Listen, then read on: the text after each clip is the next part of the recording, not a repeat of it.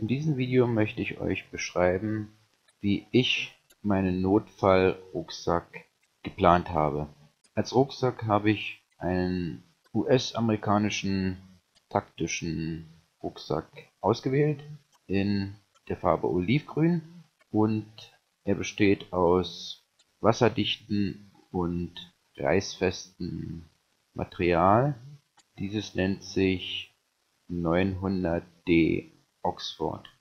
Der Rucksack enthält zwei große Taschen, zwei mittlere und eine kleine. Der Rucksack hat mehrere Befestigungsgurte. An dem Rückengurt befindet sich eine Öse, an dem man mit einem Karabiner zum Beispiel die Taschenlampe befestigen kann.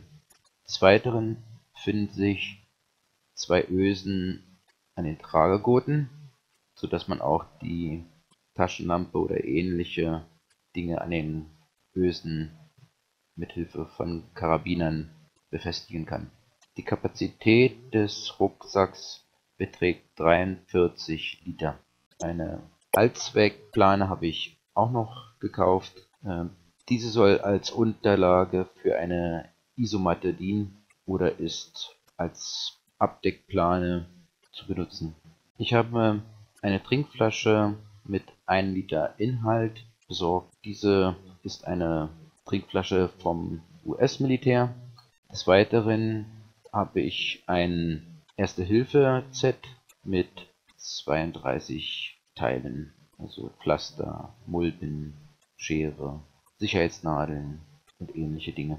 Auch sollte man Schmerztabletten dem Notfallrucksack beifügen. Ich, ich habe mich für Novalgin 500 Milligramm Schmerztabletten entschieden. Für die Hygiene habe ich feuchte Tücher ausgewählt, da diese recht einfach zu handhaben sind. Als weiteres Hygienemittel habe ich Augenlidschaum. Dieses ist kompakt und einfach zu handhaben. Das ist also ein, ein Reinigungsschaum, der eigentlich für die Augen gedacht ist, aber ich denke, man kann da jegliche Sachen mit eingehen. Des Weiteren habe ich Anzündwürfel für den Notfallrucksack geplant. Ich habe mich auch für ein elektronisches Feuerzeug entschieden. Dieses kann ich mit einer externen Stromversorgung wieder aufladen.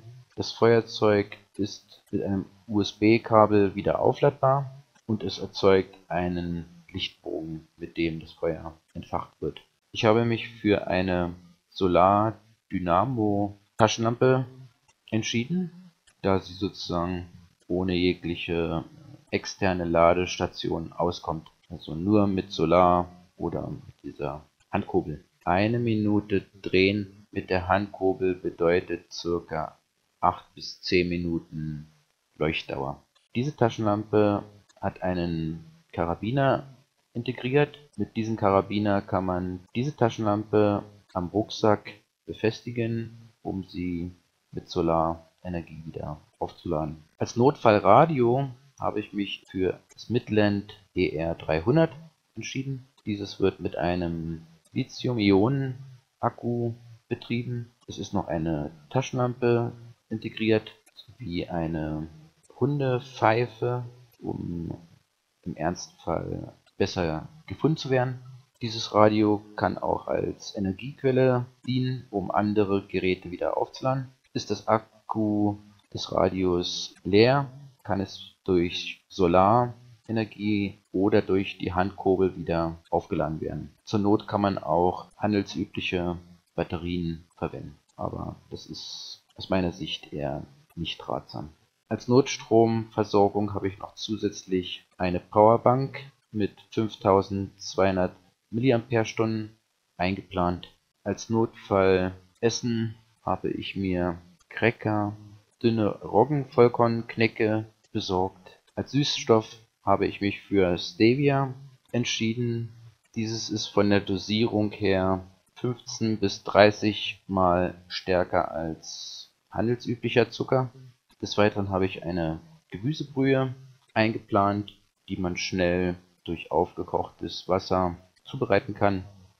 Dazu dann eben die Cracker oder das Roggenvollkornknecke. Oder auch Knusperbrot Erbse Linse, das ist auch sehr zu empfehlen. Alles ist sehr leicht und ohne Probleme zu transportieren. Man muss da nicht groß was beachten, weil es Trockenware ist. Ich kann noch empfehlen, trockene Früchte mit in den Notfallrucksack hineinzupacken. Ich habe mich da für Pflaumen, Feigen und Datteln entschieden.